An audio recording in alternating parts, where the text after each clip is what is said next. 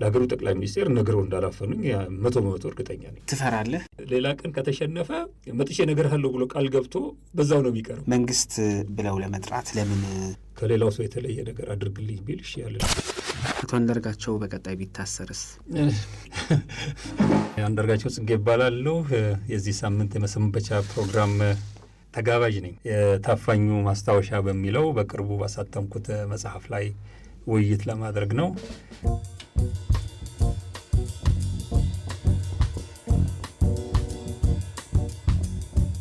አቶ አንዳርጋቸው ጽጌ በጣም አመሰግናለሁ እንግዳይ ለመሆን ስለመጣ ለጊዜህም ለፍቃድህም በአድማጮች ስም አመሰግናለሁ። እኔም በመጋበዜ በጣም ነው አመሰግናቸው። የታፋኙ ማስታወሻ መጽሐፍህን መሰረት አድርገን ነው የምናወራው። መጽሐፍ ላይ አንቱ አትበሉኝ ስላልክ እኔም አንተ እያልኩ ነው የምቀጥለው። በጣም ደስተኛ የታፋኙ ማስታወሻ መጽሐፍ ሲመረቅ በዛ ምሽት በቅርብ ነበር የተመረቀውና በሕግ ማስከበር ስራው ላይ መንግስት እያከናወነ በሚገኘው በትግራይ ክልል መቀሌን የተቆጣጠረበት ዜና የተበሰረበት ዕለት ነበረ። እናንተ ያንን ስነስርዓት እያከናወናችሁ በነበረበት ጊዜና ከመጽሐፉ መመረቅ ጋር ግጥምጥሙ ትርጉም አለው። አዎ ግን ሰው ማወቅ ያለበት እኛ ያንን የመጽሐፍ ምረቃ ስናዘጋጅ የዛኑ ቀን መቀሌን የኢትዮጵያ መከላከያ ኃይል ይቆጣጠራል የሚል መረጃ አልነበረንም እና ሁለቱ ተገጣጥሞ ነው። ግን መገጣጠሙ በጣም የሚያስገርም ነው። አፍኖ ያመጡኝ በዋነኛነት ሰዎቹ መቀሌን የለቀው ሩጫ የጀመሩበት ቀን እኛ ደግሞ የእነሱን አፈና የሚተርክ መጽሐፍ አዲስ አበባ ከተማ ውስጥ በጣም ጊዮን ሆቴል ውስጥ ባለ አንድ የሚገርም መናፈሻ እየተዝናናን ምረቃ የምናካሄድበት ቀን በጣም የሚያስገርም ሆኖ ያገኘ ነው። ጊዮን ማፈኛ ቤት እንደነበረውም በመጽሐፍ ገልጸሃል። ይሄም የሚገርም ግጥምጥም ይመስለኛል አደለ? በታፈንክበት ቅጥር ግቢ ውስጥ አፈናህን የሚተርከውን መጽሐፍ ማስመረቅም በራሱ ሌላ ትርጉም እንዳለው ገምታለሁ። አዎ እሱም ሌላው ተጨማሪ ነገር ነው። እንደውም ትንሽ ቅር ያለኝ የዛን ቀን እዛ ግቢ ውስጥ ለነበረው እስራት ብዙ ወከባ ስለነበረ በምረቃው ሰዓት አለማንሳቴ ነው። ማፈኛ ያደረጉትም እዛ የጻፉት የቀድሞ ፕሬዚዳንቶች ያርፉበት የነበረውን guest house የሚባለውን ክፍል ነው እንግዲህ ሰው ማሰሪያ አድርገውት የነበረው እና አሁን በምን ሁኔታ ላይ ይገኛል የሚልም ነገር አንስቼ ሄጄም ለማየት አለመሞከሬም ነው። እስቲ አድሰው እንደገና ወደ ቀይሮት እንደሆነ ወደ ማረፊያ ቤትነት እናያለን። ግን እሱም ሌላው በጣም የሚያስገርም ጉዳይ ነው። በመጽሐፍህ ሰኔና ሰኞን አገናኝተሃል። ለሰኔና ለሰኞ አሁን ላይ ጥሩ አመለካከት አለ። በሰኞ ቀን በሰኔ ወር የሆነ ጉዳይ ስለሆነ አፈና እዚህ መጽሐፉ ላይ እንዳስቀመጥኩት አፈናው ከተከናወነ በኋላ ነው እኔ የሀገሬ ሰዎች ሰኔና ሰኞ የሚሉት ነገር ትውስ ያለኝና ሰኔና ሰኞ የሚሉት ነገር ተገጣጥመ ነው እንደዚህ በከራ የበቃሁት የሚል ነገር እንዳደርግ አድርጎኛል። ግን ከአፈናው በፊት ግን ቀኑም ሰኞ ወሩም ሰኔ መሆኑን ባቅም የሀገሬ ሰዎች እንደዛ ይላሉ ብዬ ጎዜ የምቀር አይመስለኝም ነበር። ግን ወደፊት ግን ሰኔና ሰኞ በተጋጠሙበት ቀን አደጋ ያለው ነገር ወይ ችግር ሊፈጥር ይችላል የሚል ነገር ቢያጋጥመኝ ሁለቴ ማሰብ አይቀርም።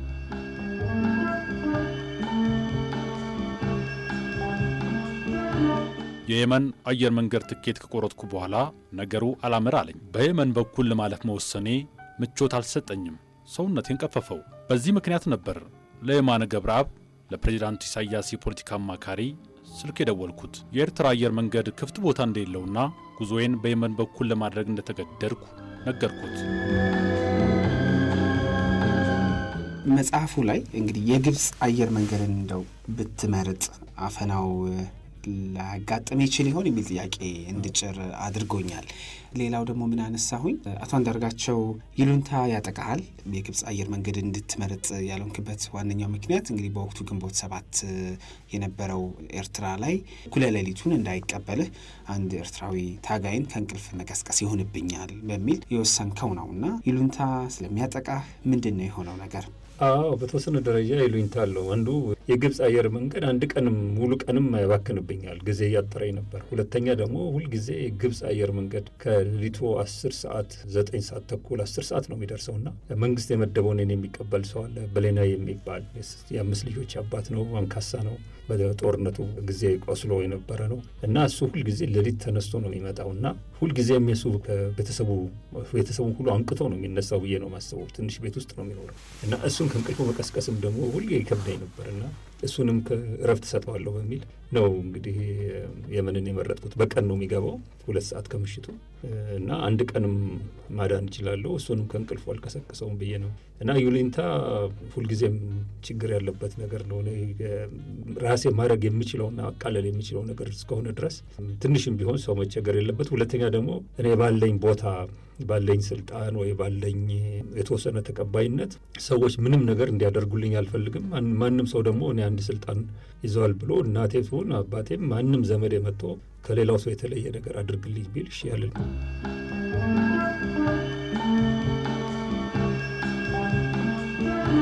አሁን ሁሉ ነገር ግልጽ ሆኖልኛል።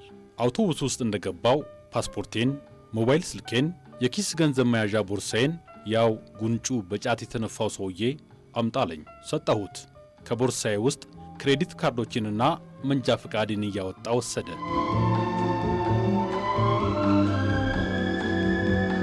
አቶ አንዳርጋቸው መንግስት ሳይሆን ወያኔ ነው ያሰረኝ የሚል አገላለጽ ተመልክቻለሁኝና መንግስት ብለው ለመጥራት ለምን አልደፈርም የሚል ጥያቄ እንዳነሳ አስገድዶኛል። ወያኔ መንግስት አይደለም ወይ? የኢትዮጵያ መንግስት ነው እንግዲህ አሰሪ ማለት የሚችለው እና ወያኔ የኢትዮጵያ መንግስት ነው ብዬ ለመቀበል ስለከበደኝ ነው። የጥቂት ወሮበሎች ስብስብ ነው። የኢትዮጵያ መንግስት ስትል በተወሰነ ደረጃ ኢትዮጵያን መንግስት ኢትዮጵያ የሚባልን ሀገር ኢትዮጵያዊ የሆነውን ሕዝብ በሙሉ ጥቅምና ደህንነት በዋነኛነት የፈለገውን ያህል መጥፎ ሰዎች ይሁኑ በመንግስት ደረጃ የሚያደርጉ ሰዎች መሆን አለባቸው። ስለዚህ የኢትዮጵያ መንግስት ነው ወያኔ ብሎ ለመቀበልም ስለከበደኝ ነው። ሁሉም የትግርኛ ተናጋሪዎች ናቸው ግን የትግራይንም ህዝብ ስለማይወክሉ እኔ የአንድ ብሔረሰብ እስረኛ ነኝ ማለት አልችልም። እንደውም የወያኔ የሚያልኩት ሰፍቶባቸዋል። በጣም በሚሊዮን የሚቆጠሩ ከነዚህ ጥቂት ጨካኞችና ዘራፊዎች የማይመደቡ የወያኔ አባላት አሉ እና እኔ እንደውም አሁን ጁንታው የሚሉት እኔ ግን ውጭ እያለሁኝ ጉጅሌ የምለው የወያኔ ገዢ ጉጅሌ እስረኛ ነኝ የነበርኩት። ትክክለኛ ማገላለጽ ነው ይመስለኛል። በመንግስት ውስጥም የሚያውቅ የለም። ሁሉም የወያኔ አባላት እኔ ስታፈን የሚያውቁበት ሁኔታ ያለ የአገሪቷ መሪ ጠቅላይ ሚኒስቴር የነበረው ኃይለማርያም ደሳለኝ ነው የነበረው እና ምንም ነገር እንደማይነግሩት በሌላ ጊዜ እኔ ላይ እርምጃ ለመውሰድ ኤርትራ ሰው ነፍሰ ገዳይ የላኩ ጊዜ መጨረሻ ደቂቃ ላይ እንደነገሩት ደህንነቶቹ ሲናገሩ ቀድተናቸዋል። ለሀገሩ ጠቅላይ ሚኒስቴር ነግረው እንዳላፈኑኝ መቶ በመቶ እርግጠኛ ነኝ። ይሄ የነጌታቸው አሰፋ ስራ ነው። በመንግስት ውስጥ ሌላ መንግስት የሚባል ከላይ ኃይለማርያም የሚመራው ያለ ይምሰል እንጂ መንግስቱን ጠቅላላ የሚዘውሩት እነዚህ ጥቂት ግለሰቦች ናቸው እና የኢትዮጵያ መንግስት እስረኛ ነኝ ለማለት ስለማልችልም ሞትን ትፈራለህ? ለምን አነሳውን ለመሰለ በመጽሐፍ ውስጥ አንድ ቦታ ላይ በተለይ ማታ ላይ የመኪና ድምፅ ስትሰማ ሰዎቹ መጥተው ሊወስዱኝ ነው እና ያ ቀን መጣ ትል ነበረ። ከዛ ደግሞ የመጽሐፍ የሆነ አጋማሽ ላይ ቶሎ ይፍረዱብኝ ያው የሞት ፍርድ ነው የሚል ነገር አለ። ሁለት ማይጣጣሙ ሀሳቦች አሉበት። በእርግጥና ትክክለኛው አቋሜ የትኛው ላይ ያርፋል? ምልህ ሰው ሆነህ ሞትን የማትፈራበት ምንም አይነት ምክንያት አይኖርም። ያለው እንደ ሁኔታው ነው። ስቃይ ሲበዛብህ እንኳን በጠላት እጅ ተይዘህ አይደለም በሽታም እንኳን በጣም ሲያሰቃየው ሰው እኮ ይጸልያል እኮ ጭራሹ ነው ሞቴን አፋጥነው የሚል ነገር አለው። ሞትን ይወዳል ማለት አይደለም ግን ስለዚህ በዛ ከሰዎች ጋር share የማደርገው የምጋራው ነገር አለ። ስቃይ ሲበዛ አሁን እዛ መጀመሪያ ራሴን ለማጥፋት ያደረግኩት ሙከራ ከስቃይ ብዛት ነው። ቧንቧው ጋር አልደርስ ያንን ስቼው ያው ሆነ እንጂ maybe ላልገኝ ይችል ነበረ። ቧንቧውን አግኝቸው ቢሆን ኖረው የዛን ቀን እሱ አይ ከስቃይ የሚመጣ ነው። ሌላው ከትውስታ የሚመጣ ነው። በደርግ ጊዜ ታስሬ አውቃለሁኝ። ማታ ማታ መጥቶ ማያቅ መኪና ሲመጣ በቃ ልክ ደርግ ጊዜ እንደሚደረገው ማታ ይመጣሉ፣ ይወስደዋል። የሆነ ጉድጓድ ቆፍረው አስር አስራ አምስቱን አንድ ጊዜ እንደሚቀብሩት እንደሚያደርጉት አሁንም አንድ ጫካ ወስደው ጉድጓድ ቆፍረው እኔንም የሚቀብሩበት ቀን እና ሰዓት ደርሷል የሚለውን ነገር ያ ነገር ነው ያመጣው እና እኔ በፍራቻ መልኩ ሳይሆን የመጨረሻው ቀን የመጣበት ሰዓት እንዳለ አቶ አንዳርጋቸው መጽሐፍ ላይ አንደኛው እንድትፈራ አድርገዋል ብዬ እንድጠይቅ ያደረገኝ ልጆች ነው። ልጆች ናቸው፣ መንታ ልጆች። እነሱ ያሳስቡ ነበረ። ያደጉት እንኳን እንደው እየበሰሉ ሲሄዱ ያውቃሉ የሚል ነገር ነበረ ብዬ አስባለሁኝ እና ከዛ በመነጨ ነው ይህን ያነሳውለ አያይዤ ልጆች ሊያወሩ ይችላሉ። ጥሩ አባት ነኝ ትላለህ። ፖለቲካው ጊዜ እንድትሰጣቸው ላያደርግህ ይችላል እና እንዴት አይነት አባት ነኝ ትላለህ ለልጆችህ? ልጆችን ለልጆች ፍቅር በመስጠት ለልጆች ነጻነት በመስጠት ከልጆች ጋር በሁሉም ጉዳዮች በነጻነት በማውራት እንዲያወሩ በማድረግ እንዲጠይቁ በማድረግ በእነዚህ አይነት መንገድ ምንም እኔ በጣም ለልጆች የምስማማ አባት ነኝ ብዬ ነው የማስበው። እነሱም እንደዛ ነው የሚያዩኝ ያለው። በዛ የተነሳም ነው በቃ እንደዚህ አይነት አባት በምድር ላይ የለም ነው የሚሉት ሁልጊዜም። ለእናታቸውም እንደዛ ነው የሚነግረዋት። ነገር ግን በሚገባ መረዳት ያለብን ለልጆች ጥሩ አባት መሆን ማለት ፍርፍር ወይ ጨጨብሳ ስላጎረሳቸው ልጆቹን ይወዳል የሚል መደምደሚያ ላይ አልደርስም። ከዛ ውጭ ምን ያደርግላቸዋል? ምን አይነት ማህበረሰብ ነው የሚተውላቸው? እነዚህ በጣም ጥያቄ ውስጥ መግባት ያለባቸው ነገሮች ናቸው። እንደውም አንዱ ሀገራችን ውስጥ ጠቅላላ ይህንን አይነት ችግር ውስጥ የወደቅ ነው ልጄን ወዳለሁ የሚለው ሰው የልጆቹ ፍቅር ጎዶልነት ያለው በመሆኑ ነው። ከቤት ውጭ ስላለ ህይወታቸው ሰፊው ማህበረሰብ እሱ ትቶት በሚሄደው ዓለም ውስጥ ተመችቷቸው እንዴት ይኖራሉ የሚል ጥያቄ ማቅረብ ባለመቻሉ እና ባለመሳተፉ ያገባኛል ባለማለቱ የተነሳ ለጥቂቶች አገሪቷን ለቆላቸው አገሪቷን የሚሊዮኖች ሲኦል ለማድረግ የቻሉበትን ሁኔታ የፈጠረው ልጆቹን በደንብ የማይወደው ሰው ነው ብዬ ነው ማስቡ። ስለዚህ ምቹ አካባቢን መፍጠር ላይም ሚና ሊኖረን ይገባል እንዳባት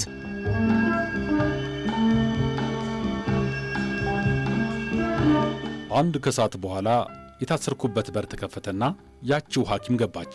አብሯት የመጣውና በሩን የከፈተው ጠባቂ አጭሩ ደጉ ሰውዬ ነው። በሩን ከፍቶ አስገባትና በራፉ ላይ ቆመ። ረጅሙ ጠባቂ ቢሆን ተከትሏት ይገባ ነበር። ሐኪሟ እንዴት ነህ አለችኝ። ካጠያየቋ ሩሩህ እንደሆነች ተረዳው።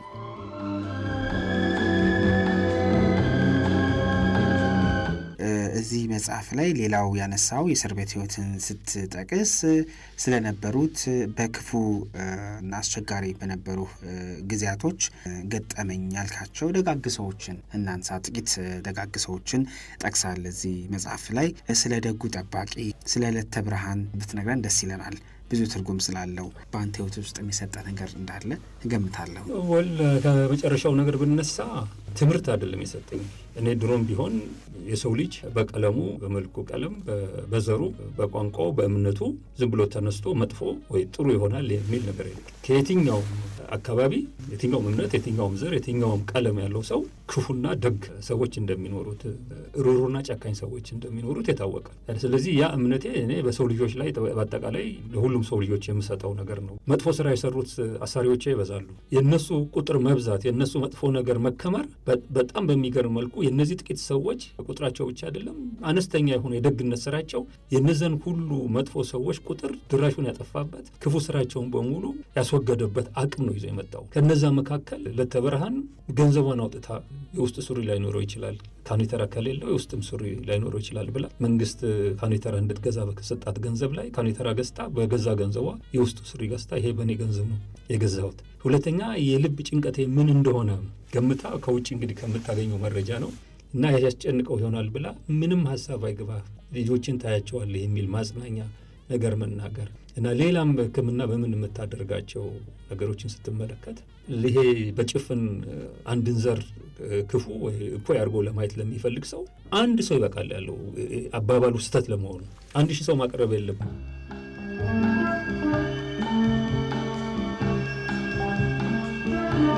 ዕቃዋን ቦርሳ ውስጥ መልሳ በፌስታል ይዛ ያመጣችውን ዕቃ ወጣች።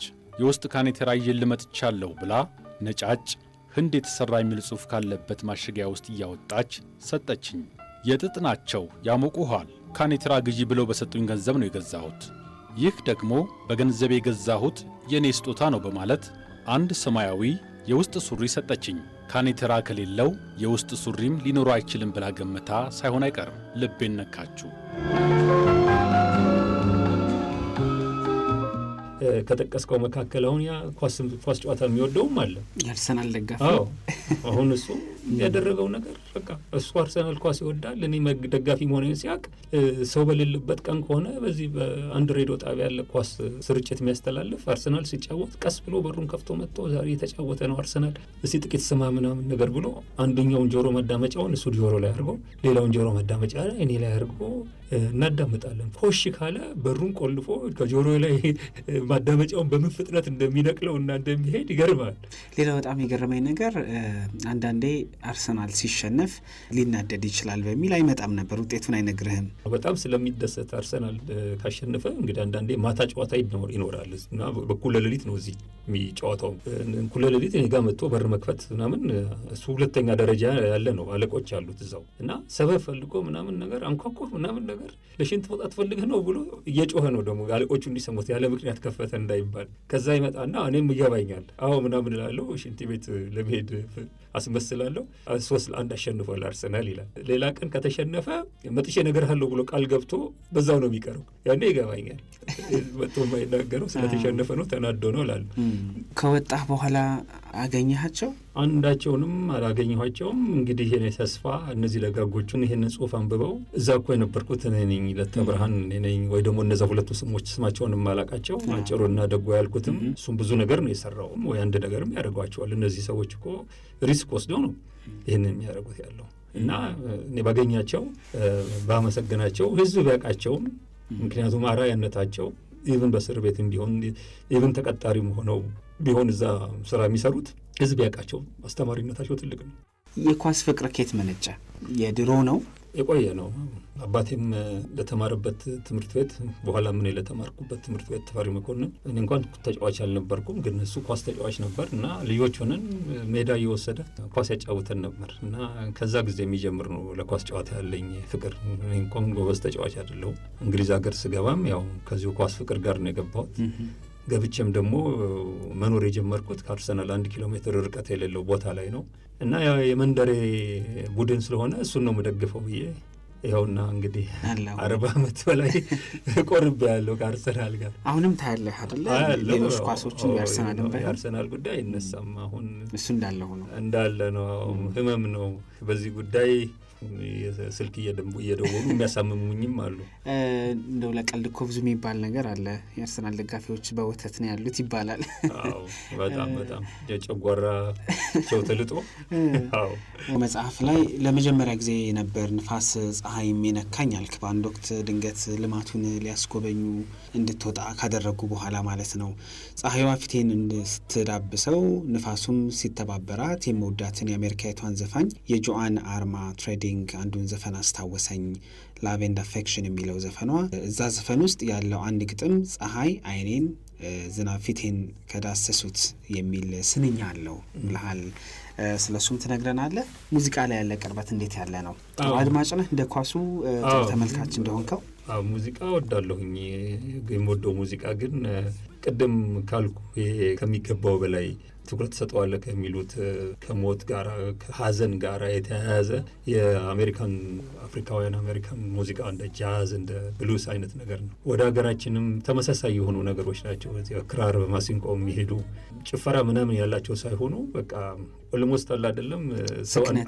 አንዳንዶቹ ሰዎች ምናምን ምንድን ለቅሶ የምታሰማን የሚሉባቸው አይነት ዘፈኖች ናቸው። ሰማው እና ቺም ዘፋኝ የዛ አይነት ጆን አርማ ትሬዲንግ ትባላለች። የዛ አይነት አዘፋፈን ያላት። እና የነበረ እነዛ ስንኞች እንደዛ ብላ እሷ ፀሐዩም ንፋሱም ዳሰሰኝ፣ ምን ነው ፍቅር ሊዳሰሰኝ አልቻለም የሚል ነገር ነው የምትቀጥልበት መጨረሻውን የምትቋጥርበት። እኔም እነዛን ስንኞች ሳስታውስ በዙሪያ ያሉት ሰዎችም በጥላቻ የተሞሉ ሰዎች እንደሆኑ ያሰሩኝ ሰዎች ስለማቅ እሷ የወንድ ፍቅር ነው አልዳሰሰኝ የምትለው። ፀሐዩም ፊቴን ዳሰኛል፣ ንፋሱም ጸጉሬን ይነካዋል። ምን ነው እንደዚህ ፍቅር ሊነካኝ አልቻለም ነው የምትለው። እኔም ግን እንደዚህ አይነት ጨካኞች ዙሪያ መሰብሰቤ ጠቅላላ በሰዎች ባህሪ ላይ የተመሰረተ አይነት ነገር ነው እንዳስታውስ። ጆሮ ወይም ደግሞ ይሄው ለኪነ ጥበብ ያለ ቅርበት ለስነ ጽሁፍ የራሱን አስተዋጽኦ አበርክቷል ብሎ መጥቀስ ይቻላል። ትገጥማለህ። እዚህም ከመጣህ በኋላ ደግሞ ከእስርም ተፈተህ ግጥም ምሽቶች ላይ ትሳተፋለህ። ለስነ ጽሁፉ ለኪነ ጥበቡ ያለህ ቅርበትን ብናነሳ ደስ ይለኛል። ከምን መነጨ? እሱስ የድሮ ነው የቆየ ነው? የቆየ ነው ምልህ ያው የአስተማሪ ልጆች ስለነበርን ሌላው መጽሐፌ ላይ እንግዲህ እንደነገርኩት መጽሐፍ ማንበብ almost ግዴታ ነገር እና ማንበብ ከልጅነታችን ነው። በዛ የተነሳ ብዙ ማበረታታቻ የሚሰጠን ቤት ውስጥ ነው ያደግኩትና እኔ ማንበብን በበጎ ነገር እንዳየው ነው ያደግኩት ከልጅነት የጀምሮ ለሰዓታት ነው የአስራ አንድ የአስራ ሁለት ዓመት ልጅ ሆኜ አስራ አምስት ሰዓት ምናምን ማነብባቸው ያለማቋረጥ ጨዋታ የሚባል ነገርም ወደማላቅበት ደረጃ ከመብዛቱ የተነሳ እንደውም አንዳንድ ጊዜ ይሄ ልጅ ሊያብድ ይችላል ተብሎ እንድተኛ የሚደረግበት ሁኔታ ነውና ከንባብ ጋር ተያይዞ የመጡ አንተ አታውቃቸውም። አየህ ስታነብ ግን ዝም ብለው ውስጥ ይገባሉ። የሚጠራቀሙ ማአት ነገሮች ናቸው። ማአት ገጸ ባህርያት አሉ። ፖለቲከኛዋ አንዱ አርጋቸው ጽጌ የደረሱት የሚል ፊልም ወይም ቲያትር እንመለከት ይሆን? እንግዲህ የጊዜና የእድሜ ጉዳይ ነው። እኔ አሁን ቅድሚያ የምሰጠው ለመተረክ አለበት ብዬ ያው ቅጽ አንድ ብዬ ያቆምኩት መጽሐፍ አለ። ይሄኛው የታፋኙ ማስታወሻ ብዙ ሰው የሚጠብቀውም ጽሁፍ በመሆኑ የተነሳ ያኛው መጽሐፍ ሲወጣም ለምን ይሄኛው መጽሐፍ አልቀደመም የሚሉ ብዙ ሰዎች ስለነበሩ የቅርብ ጊዜም ትውስታና ብዙ ጥናት ምርምርም የማያስፈልገው አይተው እንደሆነ አንድም መጽሐፍ reference ም የለው ምንም የለውም እንደወረደ ነው የጻፍኩት ያለው ቀላል ስለሆነ ነው የሰራሁት። ግን ቀጥሎ ወደ ቅጽ ሁለት ነው ትውልድ አይደናገር የሚለውን ርዕስ ይዞ የሚሄደው ቅጽ ሁለት ቅጽ ሶስት እያለ ስንት volume ሊወጣው እንደሚችል አላውቅም። በእኔ ግምት አምስት volume ይወጣዋል ብዬ ነው ማስበው። አምስት ቅጽ ይወጣዋል ብዬ ነው ማስበው እስከ መጨረሻው ሰዓት ወያኔ እስከወደቀበት ዘመን ድረስ ያለውን ይህንን የፖለቲካ ተሳትፎ በዚህ በራሱ በአርበኞች ግንቦት ሰባት በራሱ በቅንጅት ዘመን ከኢህአዴግ ጋር ለመስራት ከእንግሊዝ ሀገር በመጣሁበትና ሁለት ዓመት ከእነሱ ጋር በሰራሁበት ከዛ በፊት ከ1970 ላይ ነው ያቆመው ያ መጽሐፍ።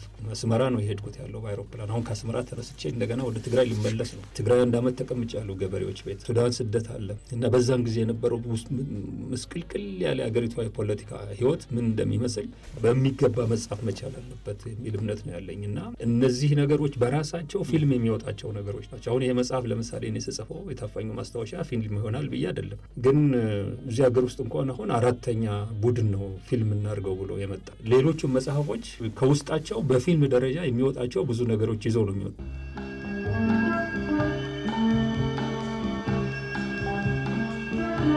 የታሰርኩበት የጊዮን guest house ወደ መኝታ ቤቱ የሚወስደው ክፍል በብረት በር ተደፍኗል። በቀኝ በኩል ያለውን መኝታ ቤት እንዲሁ በሩ ተነቅሎ በብረት ተደፍኗል። ባለሁበት ክፍል ውስጥ ከኔ በፊት ሰዎች ታስረው እንደነበር የሚያሳዩ መረጃዎች አሉ። በግድግዳው ላይ የተጻፉ የኢትዮጵያውያን ስሞች አሉ። የገረመኝ ቻይንኛ ይሁን ጃፓንኛ ከነዚህ ሀገሮች የአንዱ በሆነ ቋንቋ የተጻፉ ነገሮች ግድግዳው መያዙ ነው። የቻይናዎች ማሰሪያ ነበር ወይስ የቻይና የጉልበት ሠራተኞች ማረፊያ የሚያስብል ጥያቄ ያስነሳል። ብቻ ለእኔ በጣም ደነቀኝ። ይህንኑ ሳሰላስል መንጋት አይቀርም ነጋ። አሳሪዎቼ ለምን ተጣድፈው ወደዚህ ቤት እንዳመጡኝ አላውቅም። በደንብ አልተዘጋጁም። የመጨረሻ የታፋኙ ማስታወሻ የእስር ቤት ህይወትህን ይዳስሳል። ከዚህ በፊትም ያው በቀደሙት ጊዜያቶችም የመታሰር አጋጣሚ ነበረ። አቶ አንዳርጋቸው በቀጣይ ቢታሰርስ? ወደዛ የሚገፋ ነገር ይመጣል ብዬ አሁን አላስብም። ግን ያው የእኛ ሀገር ነገር እንደምታውቀው ነው፣ እንቆቅልሽ ነው። እኔ ከእስር ቤት እወጣለሁ ወያኔዎች ጀነራሉ እንዳሉት ከሀገር መሪነት ወርደው ከክልል መሪነት ወርደው ከቀበሌ በታች ወርደው በየጎጡ ምናምን ነገር በባዶ እግራቸው የሚሮጡበት ሁኔታ ይመጣል ብሎ ያሰበ ሰው ይኖር ጠንቋይ መሆን አለበት ነው ያሉት። እና እኔ የማየው ነገር የምታሰር የማይመስለኝ ነገር አለ። ግን የሚሰራ ነገር የሚደረግ ነገር ሆኖ መደረግና መሰራት አለበት ብዬ የማምነው ነገር መጥቶ ወደዛ ደግሞ ብገባ አሁን በተለይማ የበለጠ የተረጋጋው ሰው ነኝ። ለምን ልጆቼ አስራ ሶስት አሁን አስራ አራት ይሆናሉ በፈረንጅ ሀገር የ13 እና የ14 ዓመት ልጆች በጣም በጣም የበሰሉ ናቸው። እንደ ህፃንነት እድሜያቸው አሁን ብዙ ምጨነቅ አይደለም የሚሆን ያለ እንዲያዝኑ አንዳንድ ጊዜም ይቀልዳል። ታግለው ልክ ያወጡኝ ነው እዛ campaign ዘመቻ ስላደረጉ ከእናታቸው ጋር አሁን እዛ ሀገር ምናምን ነገር አንድ ነገር ቢያደርጉ ሁለተኛ እኛ ሁለተኛ ዘመቻ እናደርግም ነው የሚሉኝ ነገር አላቸው። ግን እኔ ብዙም የሚያሳስበኝ ነገር አይደለም። really አንድ ነገር መታወቅ ያለበት ነገር እድሜያችንን ሙሉ ፍትህ እንዲነግስ ነጻነትና መብት እንዲከበር እናደርገው። ይሄንን የሚጥሱ አካላት ከመጡ ያው መልሰን መታገላችን አይቀርም። ያ ደግሞ ወደ ስርዓት የሚወስደን ከሆነ ሶቪየት ነው የሚሉት ያለው ይሁና ብሎ መታሰር ነው። ሌላ ምን ይመጣል?